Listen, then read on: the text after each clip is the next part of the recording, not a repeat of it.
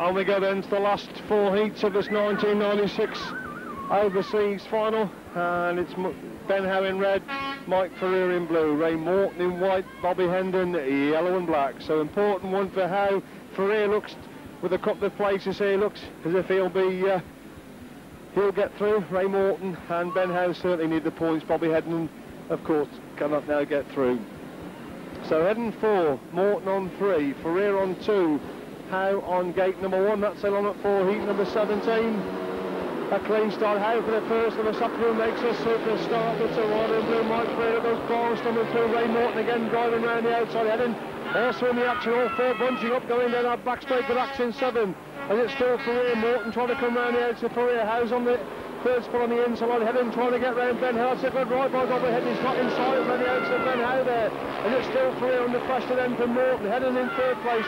Ben Howe at the back as they make their way into that bottom corner once again. Morton's gone right round the boards. Faria's on the inside. Morton with that quicker line now. Faria swoops across and leaves Ray Morton. Nothing at all. What's super action in 17. It's Faria then from Morton Hedden in third. It's Howe at the back as they make their way to the back straight once again. And Ray Morton again gives everything round the outside line. Mike Faria's pushed him even wider if that's still possible. But still Morton keeps it screwed on. This Faria then for Morton. And now Howe's back round the outside Hedden. Super action in 17 as Faria leads. Down the back straight for the full time. Morton second, Ben Hammond third. Bobby Hedden at the back is coming off that bottle. This time it's turn to go wide, but he gets the win.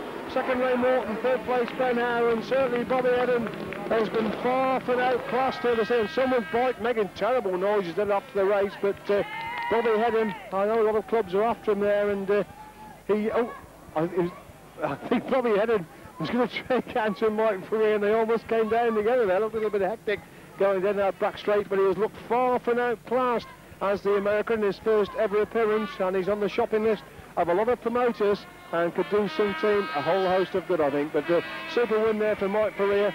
Preston Holder away there was Ray Morton. Third place went to Ben Howe.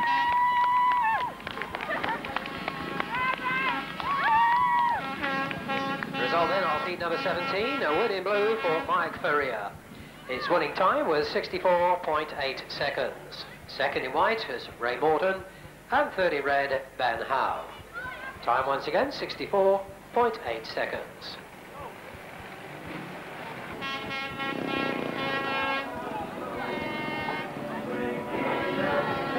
So let's have a look at heat 18 then. Charlie Venegas, just a one